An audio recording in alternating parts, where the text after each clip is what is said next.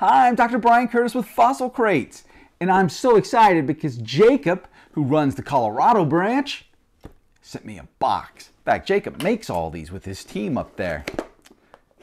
Let's see what's inside. You never know what he's going to send. Is it something new and exciting? I'm sure it is.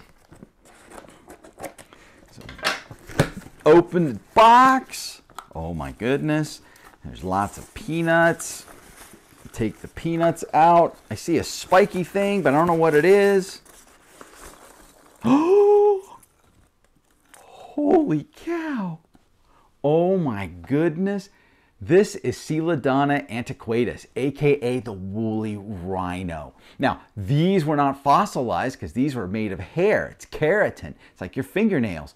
But this was a woolly rhino, every bit as big as the black rhino that roams Africa today.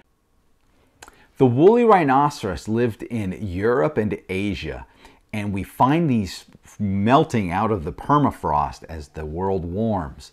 This particular animal we know had a shaggy reddish color thanks to the fur. I've actually held mummified woolly rhinos from Russia. It was amazing. And what we also know about this critter is that it appears on cave paintings. And the cave paintings provide us evidence of the horns and their shaggy red. So our uh, artistic ancestors who graffitied on a wall, painted wonderful pictures that we get to still see today, were spot on.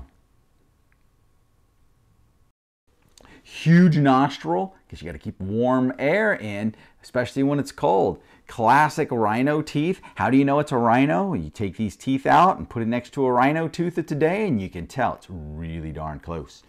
So huge jaw muscles in here. This is unbelievably cool. Oh my goodness, look at this.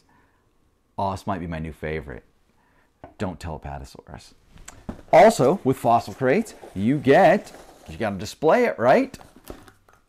proud of your fossil crates with Coelodonta antiquitatis, in case you wonder what the species name was.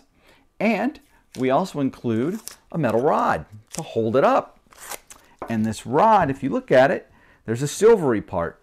And the deep silvery part goes inside the skull. It slides in.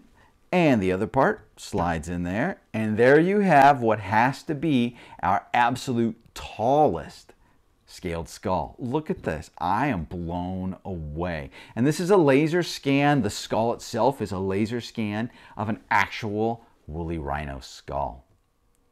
So thank you, Jacob and team, for sending me this. This is incredible. Uh, thank you all for watching. I'm Dr. Brian Curtis with Fossil Crates saying thank you kindly.